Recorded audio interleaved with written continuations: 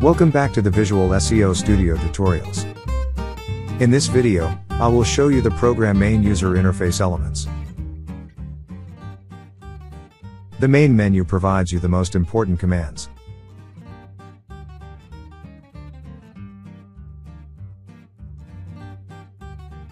These you can also find in the handy command pad, on the left. You can collapse or expand the sections within the panel as you please. If you need more video space, you can also hide the command pad. Then there is the main area, which can host more tab sheets.